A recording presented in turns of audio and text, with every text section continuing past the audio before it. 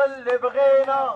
الانصاف اللي بغينا. على الجينا واحتجينا على الجينا واحتجينا وأرضنا ومشات لينا. أرضنا ومشت لينا. وأرضنا ومشات لينا ارضنا ومشت لينا وارضنا ومشات لينا ارضنا ومشت لينا وارضنا ومشات لينا ارضنا ومشت لينا على الجينا واحتجينا على الجينا واحتجينا على الجينا واحتجينا على الجينا واحتجينا الانصاف اللي بغينا صامدون صامدون صامدون صامدون وصامدون صامدون صامدون صامدون وللاقصاء رافضون رافضون وصامدون صامدون صامدون صامدون وصامدون صامدون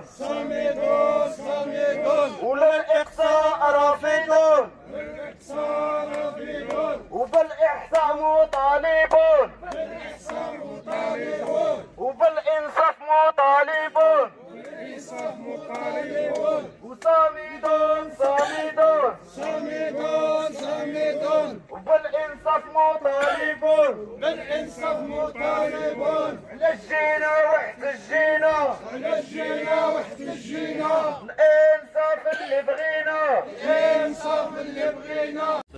السلام عليكم. شكرا للزميل ياسين برمضان وشكرا للموقع جرسيف زوم الذي دائما متواجد مع الطبقات الكادحة والطبقات المقهورة.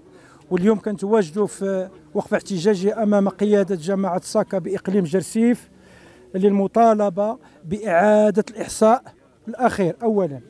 ثانيا هاد الناس هادو اللي كانوا دايرين احتجاج كلهم محرومين. وكيطالبوا بحقوقهم وتسوية وضعيتهم وإعادة تسجيلهم في اللوائح التي حرموا من التسجيل فيها. آه غادي نهضروا بالدارجة آه كما كتعرفوا هاد ساكا كما قال واحد الراجل كبير راه باقي حي قال لك ساكا باقيه كما خلاها سيدنا آدم. مجالس منتخبة متعاقبة وما كنعرفوش هاد النواب السلاليين.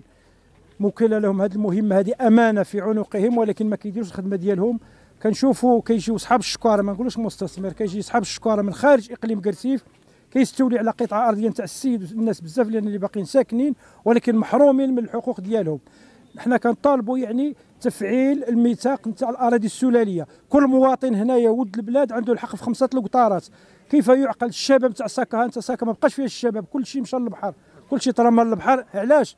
لأن هذا الحيف والحقره ما عطاهمش كون عطاوهم مثلا وفروا لهم خمسة القطارات والأراضي والدعم من السلطات المعنية والمديرية الإقليمية ديال الفلاحة حتى واحد ما غادي يحرق غادي يجلس هنايا. غادي ينمي البلاد ديالو منطقة ساكا وغادي يكون الاقتصاد وغادي يكون رواج اقتصادي. حنا كنشوفوا دابا كيجيو صحاب الشكاره ما عرفناش كيفاش كيديروا. يعني الطرق ملتوية وتحت الطابله وبسريه تامة كيدفعوا الفلوس كيجي يشدوا شواهد الاستغلال في 24 ساعة. كيشدوا شهاده من ذوي الحقوق هو بعيد على إقليم قرسيف وكيجيو من كيقولنا كيجيو كيعطيوه مئات الهكتارات. وكان غرباء يعني ما كاينش استثمار. هنا راه كاين استحمار العقلية نتاع ساكا. الناس خاصها تهضر على حقها. الناس ساكتة. كما قلنا هذا المستثمر كي يستولي على أراضي كيدير واحد الثقب مائي كيدفع الدعم لمديريه الفلاحة كتعطيه الدعم 63 ألف درهم يمكن القطار كيبات ما يصبح كيخلي القضية هكاك مرونة. الفرشة المائية كيفرحها كيفرع الفلاح. يعني هذه حقرة كبيرة. الصغير مداوي الحقوق آه مداوي الحقوق خلاص. يعني كما قال واحد السيد قبيلة قال لك أنا حاربت الاستعمار هنايا ومنين مشى يشوف هذه القيادة هذه هذه القيادة هذه ما لقاش راسو مقيد. في اللوائح باش يستافد. وكما سمعنا واتصلوا بنا بزاف ذوي الحقوق في هذه الساكه هذه قال لك شي موظف أنا كان déjà موظف وخرج تقاعد. وباقي خدام في هذه القيادة هذه هو اللي مسؤول سيدي قال لك على هذه الملفات. يعني كاين هنا كاين تماطل وتسويف. وشكرا. السلام عليكم ورحمة الله تعالى وبركاته. أنا هذا العبد الضعيف اللي كيهضر معكم وهو قشاوي يعقوب. كنهضر على على الأرملات وكنهضر على الفقراء وكنهضر على المحتاجين الناس اللي محتاجين. ما عندهمش. واه. الأرض كيجي مثلا من من خريب من الدار البيضاء كيترمى على البلاد على الناس الفقراء مساكين ضعاف ما عندهمش. وكيديوها بالفلوس. كيديوها بالفلوس نعم. علاش ما يعطيوهاش لذاك لذوك الناس الضعفاء؟ أنا بصفتي ما عنديش ودفعنا الورق وعاودنا دفعنا الورق كيقول لك على البلاد السلالية.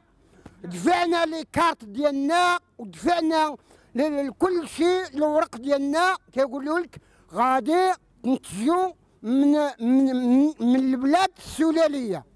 دابا هادي أربع سنين ولا خمس سنين والو ما كنشوفوا والو منها. ما كنشوفوا والو.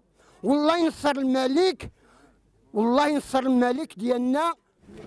في البداية أولا وقبل كل شيء تحية نضالية لكافة الأفواه الحرة و- والشكر الجزيل لكافة المنابر الإعلامية والأفواه الحرة. يعني بما يسمى أننا نحن كمعطلين الجمعية الوطنية لحملات الشهادات بالمغرب فرع قرسيف كنعلن تضامننا المبدئي واللا مشروط مع الفلاحة أمام قيادة ساكا اللي جينا وجسدنا معهم الوقفة الاحتجاجية. إلا كانوا هاد الناس ولاو كيهمشوا هاد الشعب بهذه الوتيرة. لا من المعطلين لا من الفلاحين لا من أبناء الشعب لا من الطبقة الفقيرة لا من الطبقة المقهورة.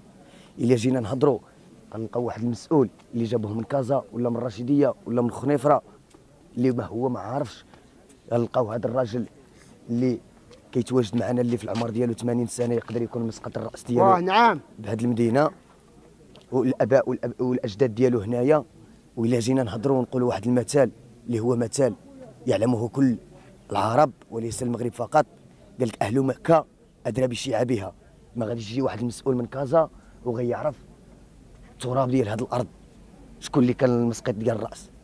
هادو راهم أبناء هذا الوطن الجريح. أبناء هذه الأرض.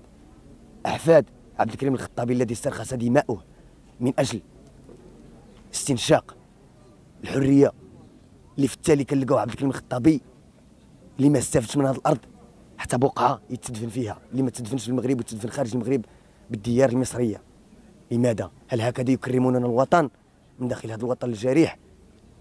هل هكذا يتعامل الوطن مع الشعب المغربي المقهور الا كان المغرب الجديد والمغرب مقبل على مجموعة من التطورات. هذا راه ماشي تطور هذا راه تخريب. في حق الطبقة الفقيرة والطبقة المعوزة. إلا كانوا هذه الأراضي شاسعة وكذا غنشوفوا ذوي الحقوق هما الأولى وذوي الاحتياجات الخاصة. ونشوفوا المعطلين. عاد غادي ندوزوا هاد هاد الأراضي اللي شاسعة عاد ندوزوها راس المال إلا كنتوا كتقولوا هاد الناس المعطلين وهاد الناس ديال هذا المكان ما عندهمش الفلوس باش يستثمروا.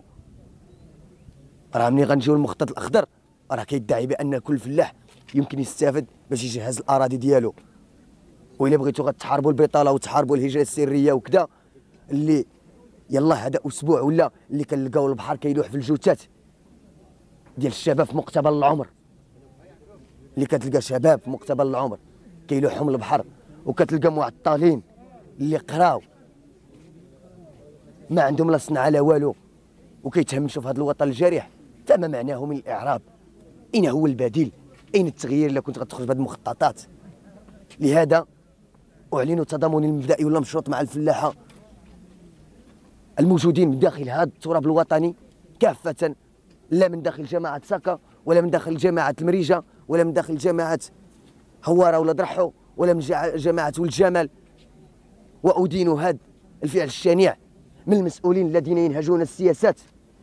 الأذان الصماء اللي ما كيجاوبوش هاد الناس إلا بالأذان الصماء اللي إحنا كنهضروا قدام إدارة اللي ما خرجناش حتى شي مسؤول وما عطاوناش وقت إلا كنلقاو الجندارم وكنلقاو المخبرين والمصورين من داخل هذا الشكل النضالي اللي هو شكل سلمي.